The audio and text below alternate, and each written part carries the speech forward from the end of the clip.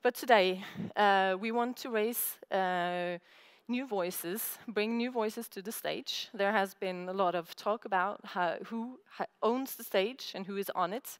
And today we invite a new panel uh, to give us the input both on quality and on arts and on inclusion on, in the cultural scene.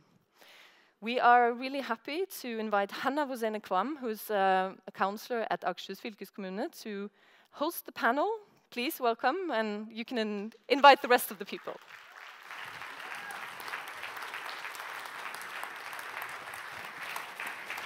Yes, hello everybody. There was a young girl in the US. She was dark as the night, beautiful. But the world started to tell her that she was too dark. She wasn't beautiful at all. She wouldn't get any jobs because her skin was too dark. She was 14 years old and she tried to rub it off. She tried to wash it off to get lighter. And that didn't happen, of course. Then she went to her mom and she said, Mom, what am I going to do? Everybody's telling me I'm ugly. What am, am I going to do with my skin? And she said, Don't let anybody define you. Find a solution on this problem. I will help you. And then she said, Mom, yeah, I want to do that. I want to make a clothing line. Okay, what do you want to call it? I want to call it Flexing in My Complexion. I bought the t shirt. and I'm wearing it today as a statement, and I'm wearing it today because this lovely panel here is going to flex in their complexion. And it's about time.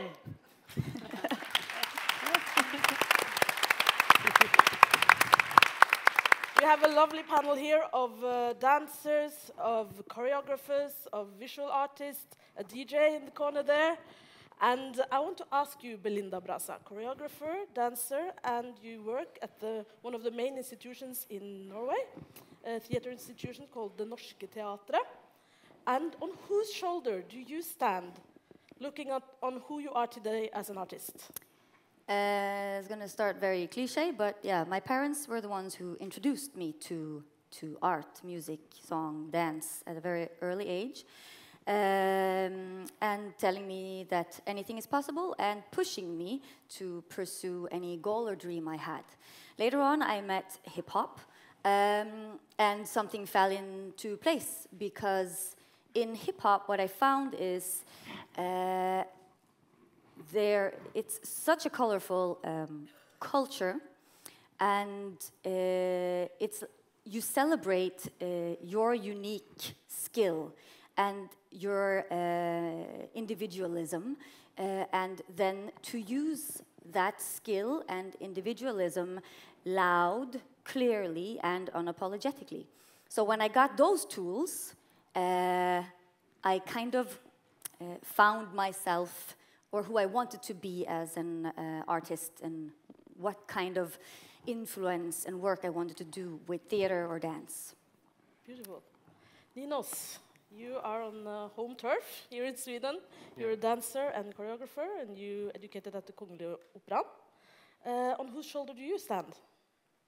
Um, I stand on my own shoulders, basically. Mm -hmm. uh, yeah, that's that's about it. I don't stand on anybody else's shoulders. I've had great support from home, um, but yeah, my I come from a um, yeah a small minority of, of, of, of, people who are not exposed to arts from the beginning in our society. I come from what we call a no-go zone in Norrköping. Uh, um, and yeah, so basically I found my own interest and, and made my own way and ended up at the Royal Swedish Ballet in the end. Beautiful. Julienne Doko, you're from uh, Denmark, and uh, you're a dancer and choreographer as well. On whose shoulder do you stand? Um, okay, so first of all, I, I live in Denmark, but I'm from, from France. Yep. Um, and I was born in the Republic of Central Africa. Yes. Um, so I started dancing when I was six uh, with ballet and then jazz. And um, I was told or made to understand that maybe ballet was not for me because, okay, okay. So then I found hip hop when I moved to Paris, and that was a revelation. Um, loved it, felt it. Um, but for me, definitely a revelation was when I saw Alvin Ailey. And to me, that was like, okay, so they're black. And they're strong, graceful, technical, um, powerful. So to me, it's, oh, so it's, po it's possible. You know, so that was really great revelation, and that really helped me with my confidence. Uh, I will also actually mention uh, Zab Maboungou, whom uh, Tom, uh, Thomas also quoted, um, who is in Montreal, and she um, was also great to train with her and her special technique, because what she made me realize uh, was that, um, for example, African dance, dances are also technical, mm. which is something that is not said often, or rarely actually that there is technique in African dance. There is technique in other kinds of dance. There is technique in Bharatanatyam. There's technique in Sabar. There's technique in Kathak. Mm. It's not just ballet and contemporary and jazz that have technique. So this and obviously important, right? When you have my skin color and you also do African dance, to know, hey, this is also technical. This is also complex. So I definitely have to name her. And then others, you know, I've trained with um, Rosângela Silvestre in Brazil, um, Germaine in Senegal, um, yeah, many others. International. International, yeah. Yeah. So, yeah. yeah. and Sandra Mujinga, you're living in Norway and Malmö, educated from the Fine Arts Academy in Malmö. On whose shoulder do you stand? Um, I would say my mom. Um, she was a fashion designer, and I think as a kid, it's like interesting because skills has been mentioned here. I was quite good at like drawing, so it was like this specific thing that I could do, and it could not be ignored somehow. And then so I just continued drawing, and because she was a fashion designer, she would encourage me to be like, continue, do it, and show off my drawings and so on. And uh, later on, I would also think that, especially after watching Lion King, that I could like use that drawings to like create something more that it could be bigger than something that's just pure two-dimensional. Um, but then later on, I would say like the internet, even though you're thinking of like the backsides of it, it's quite. It has been so helpful for me because it has created like platforms and groups where I can meet, in particularly many other black women who are creative in creative fields, and then which has been quite encouraging. So in that sense, also obviously later on when I've had the time and opportunity to also create my own like biblio bibliography or like just having an archive of books of writers that are supporting me, like for instance, Audre Lorde. Yeah, we had uh, quite a lot of uh, people talking here today and a lot of white people talking about the white norm. Um, but you had um, an exhibition last year called Clear as Day, where one of the critics said it's like she's making black the new white. Explain. Yeah. Uh, I think whiteness is always like remains as the norm. So generally, white people don't think about being white until like recently when we are actually discussing like diversity and being more inclusive and so on. And so what I do is basically when I am working with like models and performers is that I insist on like casting people that are black also because that it is a very white art scene in Oslo and uh, while casting they also like invite their family members also invite their friends and just like casting one person could like actually change the space in itself. So i think like and what is also important within creating these spaces is that it is what it's what happens before or like you realize that there are so many like thoughts and ideas that are shared among people of color but there aren't like so many like specific or visible spaces that you can access and discuss these things and so i try to create like that type of platform also with my work Hmm. Uh, Ninos, um, today I said to you that I feel so comfortable when I come to Sweden because I feel that I'm represented here. When I see the billboards, I see myself. When I look at the Stadsteater, I see billboards with people of all shapes and sizes and colors. And you looked at me as if I came from a different planet. You did not agree. Um, no, I did not. Um, so, um, yeah, I've been working abroad as a professional dancer for six years. I've been three years in, in the Netherlands, in Copenhagen, in Switzerland, and in the States, etc., before coming back uh, to Sweden. And actually, I had this sick fascination of Stockholm and Sweden being this um, very open-minded and very uh, multicultural city, and the art scene especially, because that's what I was taught at the ballet school here. Um, coming back, I was faced with like, yeah, I don't know, I felt like an elephant hit me right in the face, um, because that was clearly not the situation. I'm very happy you feel that way, Yeah, yeah. because maybe I've been staring myself blind on it. Um, however, I... There's a, sma- a small minority of re- representation happening on our stages, yes. But um, as we could see today, this is the first panel that includes people of color. We're um, the last one on the agenda, and half of the decision makers have already left the room. Um, and I think that says something about it, you know? Um, so, yeah, you might be, you know, we might be represent. we might be on a poster or two, uh, whether it's H&M or not, um, um, you know, but if you go and watch uh, performing arts in Stockholm, you will not feel represented. At least I'm not feeling represented.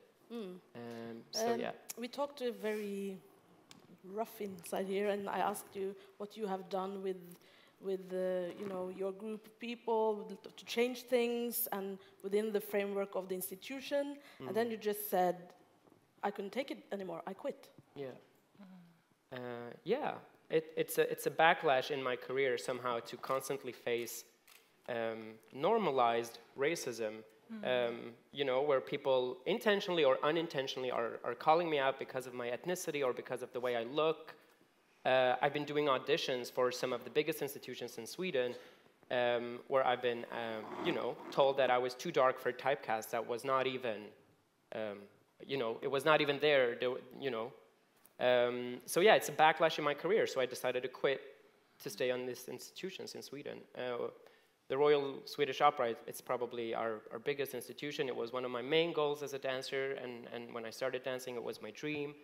I'm very happy for given the chance to, to dance there. Um, at the same time as I felt very restricted because of the way I look. Um, and the reason why I, I told you that I, I did not agree with you is because nowhere where I've danced before, and I've been on the main stages of many opera houses around the world, have I ever been looked at um, because of my ethnicity. That has never happened to me until I came back to Sweden. And, and, and that's why I couldn't agree with you. Um, you know, in the Netherlands, nobody ever asked me um, why I'm Swedish or, or how, how do you claim that you're Swedish. People were just like, oh, wow, that's cool, great. You guys are so ahead. You know, I was like, yeah, we are. And I was promoting Sweden as that. And I still do because we are in many ways.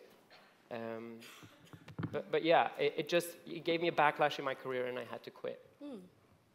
Uh, Belinda, 20 years ago, I was one of the artists going to the theater that you work at, trying to um, do something, trying to say that people of color are here, we want to do things, and they said no. They said we didn't have black people when Ibsen was alive, we don't know how to fit you into these scenes, and all those things. But now, 20 years later, you are there, and you are doing great work, and I feel as if you're getting the space and the room to do what you want to do. What happened along the way? Uh, fortunately, uh, we're moving forward. We're moving forward. I have to say, the Norwegian theater is the only theater that uses nynorsk, uh, New Norwegian, as uh, the language for everything we do there. Um, so, what the Norwegian uh, theater has done is we have started a three-year educational program for uh, actors with a non-Western background. Uh, out of 105 actors that are employed at uh, our house, uh, 25 of them are with a non-Western background. Um, uh, they gave me a lot of responsibility. I'm programming one of the stages there, opening up the house. I programmed Kamara. I had in Thomas. Uh, you know, just forwarding the the what I feel is the fire and the backbone of the Norwegian theater, the Nor- Norwegian.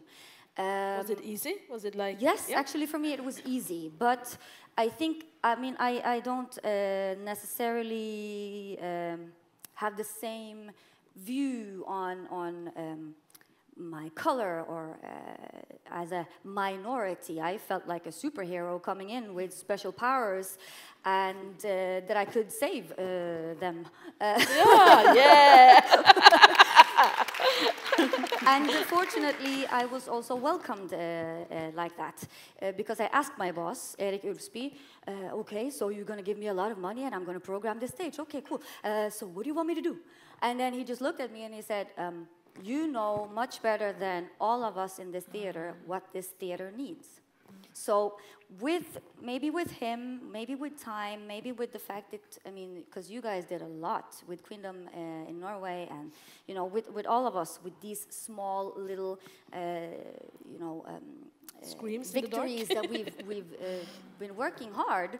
Uh, um, finally, it was it was an open room. So then it's very important for me to to forward that uh, and open it continuing um, and, and making theater more um, uh, a home for the new Norwegian.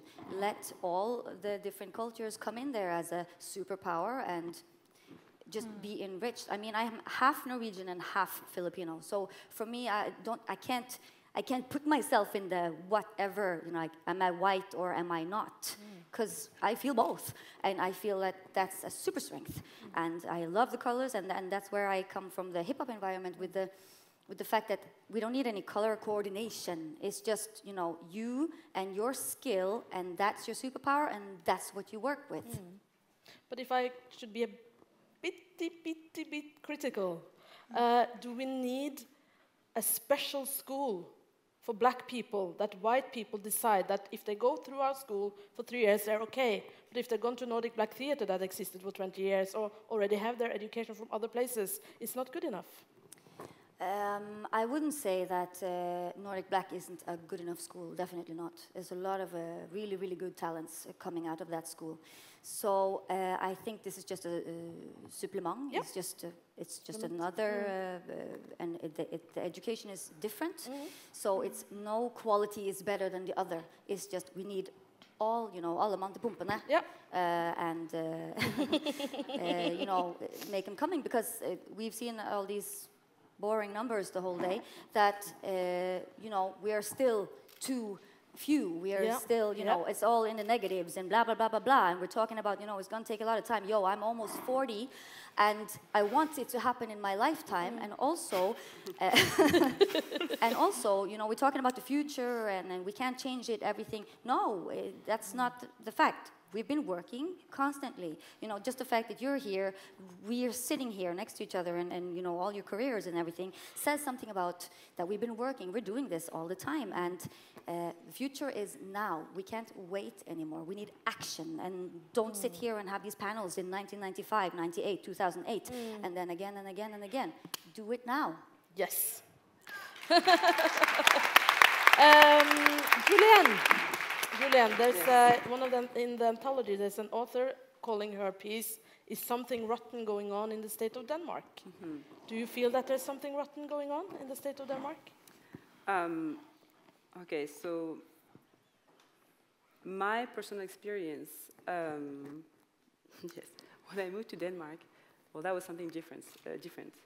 Um, let's say that I'm going to just say like two experiences that I had. So I was teaching um, African, African, contemporary dance uh, in a education program, one-year education program for professional or wannabe professional um, students. And so they, I taught them a choreography, um, which was contemporary African. And they had to present it for their Christmas show in front of the parents and friends. And, um, and when you teach that kind of vocabulary, which is not um, very common, you know, uh, in that kind of education program, you have to be strategic. So I wanted them to be to have simple costumes. Which I, I told them, okay, black. You just wear black because I want people to see the quality of the movements. Okay, they're probably not used to seeing that, but I want them to see that. You know, so great.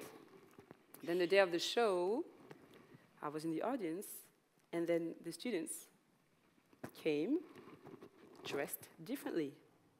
They came with a raffia skirt, and then um, like a mask that was like a white cardboard with like big red lips, uh, like drawn, and with like curly wavy hair, grossly, you know, drawn, like going up like that. So it was like,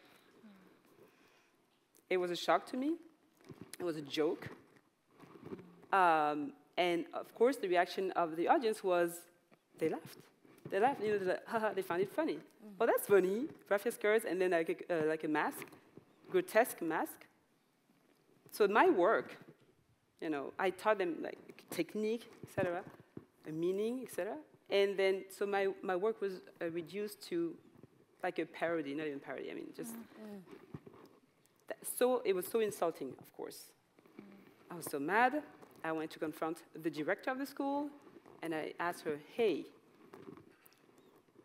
why did you take the decision to actually give them those costumes that are ridiculous and insulting?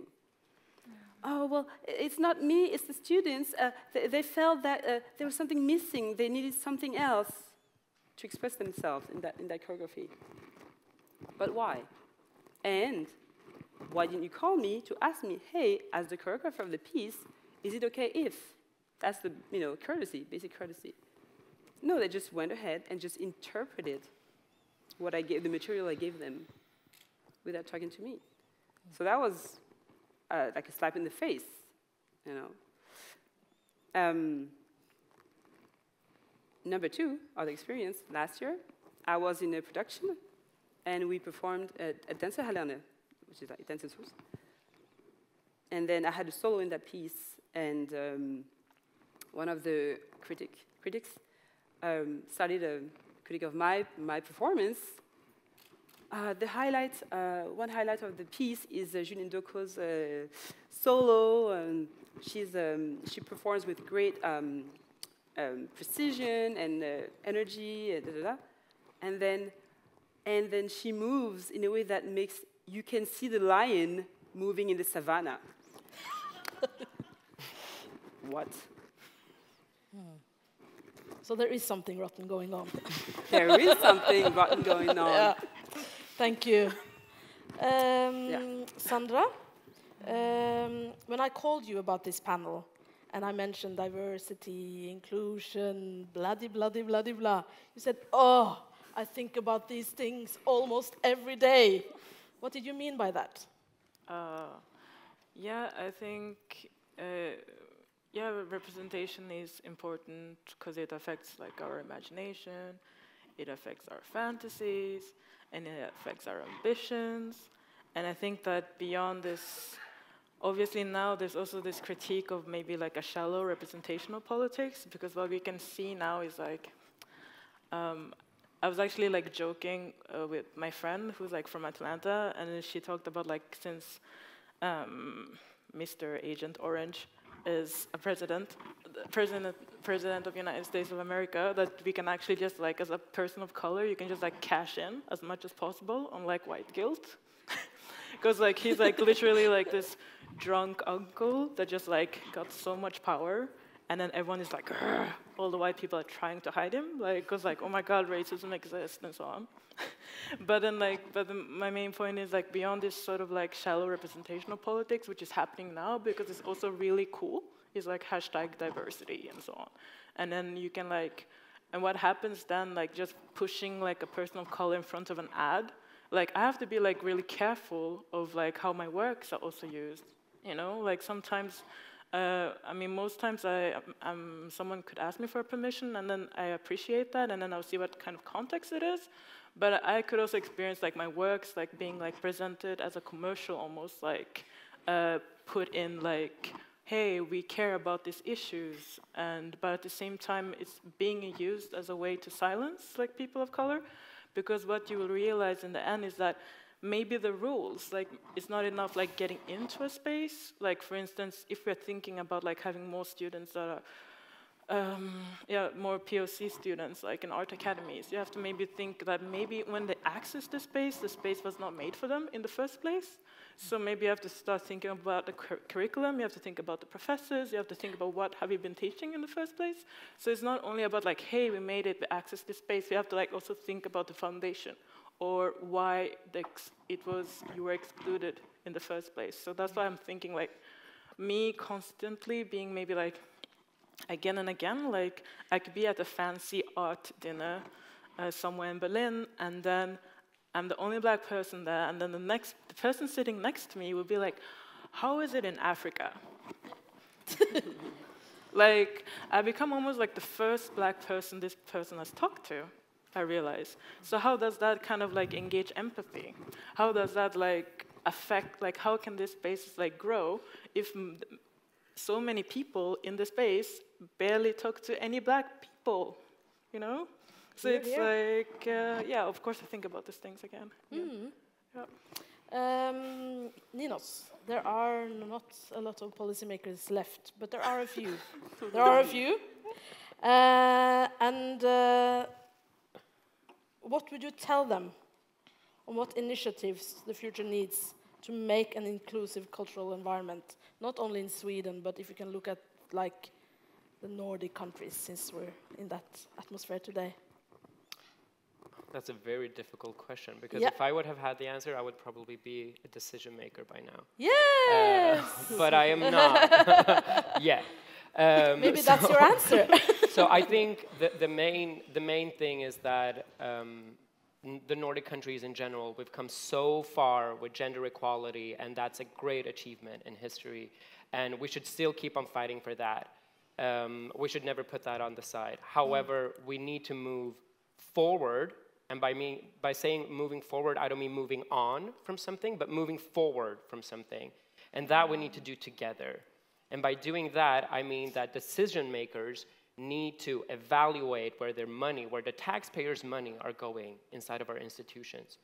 Um, our cultural minister, um, Alice Bah, was talking about um, this whole uh, artistic freedom, you know. Um, for me, artistic freedom does not mean that you can take any freedom you want uh, with taxpayers' money. That is not artistic freedom. And artistic freedom should also not be something you can hide behind to create your own art that is not inclusive. You know, that is not artistic freedom. That is ignorance, and that's a very big difference. Mm. You know.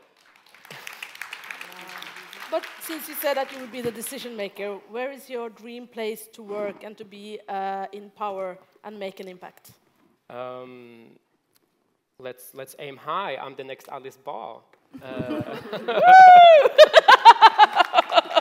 Why not? Why not? I mean, jo jokes aside, I think, um, as I said, we need to dig deeper. You know, we need to give everybody in our society the same opportunities. We need to look into why the socioeconomical segregation is actually one of the biggest uh, facts why this is happening today. Because I come from a no-go zone, I was not exposed to fine arts in any way in the yeah in the community where I grew up. But I made it because I decided to make it. You know.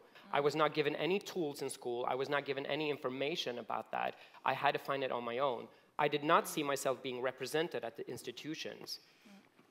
Frankly, I was not even invited to be at the institutions when I was in school. If we were to be uh, uh exposed to fine arts, it would be some kind of hip hop event, it would be some kind of fusionized, whatever, AKA colonized version of arts. Uh, and, and for me, that is more important. We need to look into the, the, the main issue, and that is socioeconomical segregation.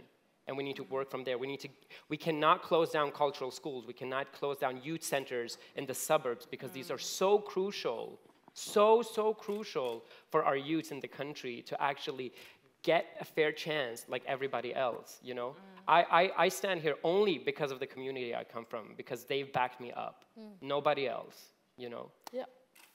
Belinda, you meet a lot of kids, a lot of youths uh, when, during your work. And what do they tell you? What, how do they see their future in, in the cultural field? Do they feel as if they can, when they see you, they can go in and do the things that you are doing? Or do they you divide themselves from, from the institutions and from the cultural field? uh, unfortunately dividing still. Um, and I think uh, it's something about, you know, um, uh, exposing children at a very young age to, because we have a government, great government in Norway, that is all the time like cutting uh, the funding and taking away all the art subjects mm. in schools, replacing them with, you know, numbers and stuff.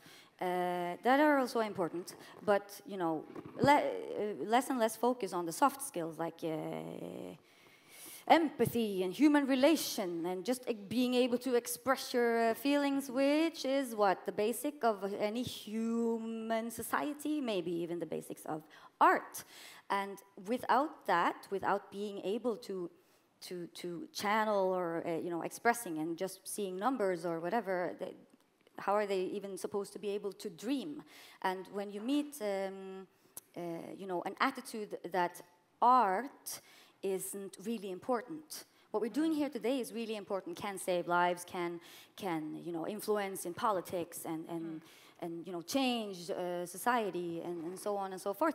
Mm, that kind of uh, attitude uh, towards art it's something we need to to feed them at a very early age and and then they will you know, they will see the possibilities. They will see themselves as a theater uh, boss or wherever they want to be because it, they are doing important job and they have that respect for art. Because art is, you know, I see myself as a, a I want to build bridges. Bridges and, and just pulling contrasts and, and diversity together, like um, uh, art is this bridge, you know, it's, it's, and it's supposed to be this bridge, it's supposed to be we, we have to have these meetings, unfortunately, where you know nobody has ever had a real conversation to anyone with an African background, or you know they look at me and like, mm. who is this little Chinese person? You know, we have to have these meetings still, so so we can uh, you know be able to mm. to to do that, have that impact, and I think with these bridges at a very young age to these children will make. Uh, like you said, you had you didn't get exposed to anything, mm. and it, this is like the biggest hole in society. Mm. And who's in charge of that? Is it the cultural politics? Is it the institutions themselves? Who's in charge it's a of? Circle.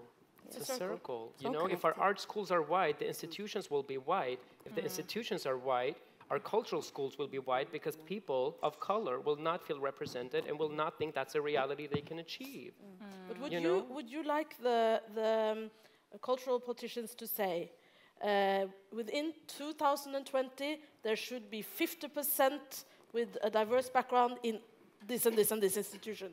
Should we go that far? I would say no. I just want a fair representation of how our society looks like. Mm. I don't need an extra representation of people of color mm. or uh, uh, you know either or i just mm. if you if we have an art scene uh, uh especially as, at the governmental institutions if we have an art scene that is representing our society meaning also uh, foreign backgrounds within people coming from africa latin america and asia mm. because right now they are actually underrepresented especially in sweden uh, within these people with foreign backgrounds. You know, mm. we're underrepresented already there. So if you have a fair representation of of ethnicities that actually mirrors our society today, I would be happy. That's all. Mm. You know, like we don't need much more. That, mm. That's we would we would feel equal because we would look equal. You know. Mm. Uh, our time is up, I think. But could no.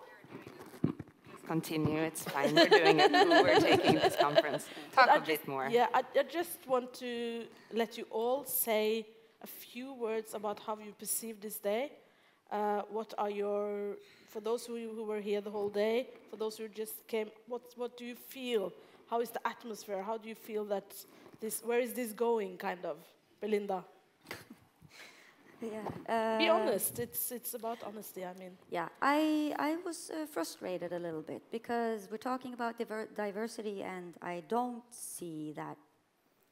Uh, I don't see who we're talking about necessarily in this room. I don't, I don't see them represented here, and I think it's sad because it's like I don't know, it's 15 time we do stuff like this, and it's it's still this gap, mm. and and um, and uh, that's just frustrating. And, and, and, and- but in the same time, you know, it, it's a kick in the ass about I want to go out there and just continue working, Yeah. continue with this bridge building, and and refusing to to to, to be just a number or or anything like that, and just um, so maybe next time we'll meet, there'll be You be the cultural minister, You'll be the minister of something.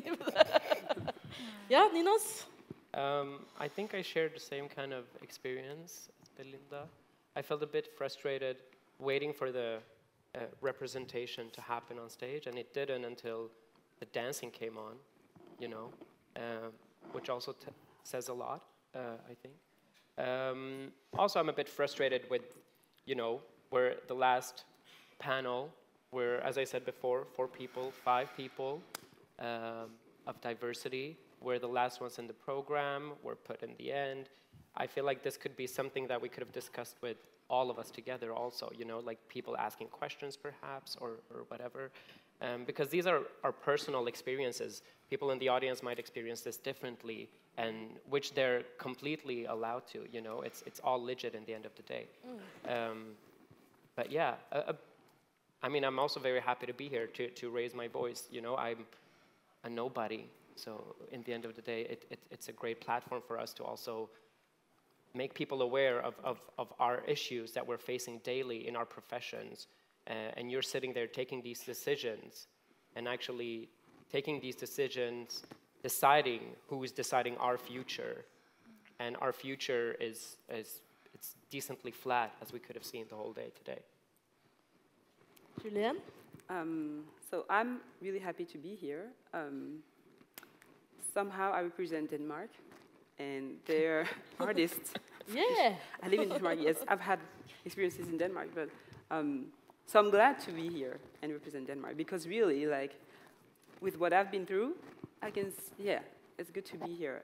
But I want to say that um, for me, based on all of my experiences, also from abroad, like there is really a need to decolonize the minds because that's why we have this today. Like there's a concern, but that's why also we are here now at this time. You know, um, that's why um, there's like some weird critiques of works. That's why there is some hierarchy of, of arts. You know, art styles. You know, so it. I think we need to go back to, you know, decolonizing the mind Thank you. for sure. Sandra? Yeah. Just sorry and exposure. Yeah. Exposure, Yes. exposure, Yeah. exposure. I mean, Yeah. really. Uh, yeah, I'm really happy to be here. Uh, at the same time, I think just like a comment, and also in regards to like building bridges, or like just th- it's so important. I think to also think of like power positions and power relations that there are no neutral positions, and that it's so important that like when we are creating these sort of spaces while we are having discussions, um, that it's important to like be aware of like how there's this constant like performance or relation to whiteness. So it's always like I think there has to be like parallel discourse, right? So I think there has to be like an oppor- there has to be those who could be like, you know what, this and this is difficult and da da da da da. And I think it's also important though that as a person of color, if you are exhausted or if you cannot really like that that you should not have to like continuously have to like explain things again and again. And it, for things that are quite obvious for you but then because you're a minority you have to like do all, all this emotional labor. So i think that's important like as someone who is privileged it's your responsibility actually like to make an effort and make it more diverse too Yeah. Thank you. Thank you, Belinda, Ninos, Julienne, and Sandra. And I would recommend all of you to Google these people. They're great artists. You can talk to them, use them, get them to come around the Nordic countries and work. Thank you. Thank you. Together, I I, think. I think you want they a want a picture. Oh,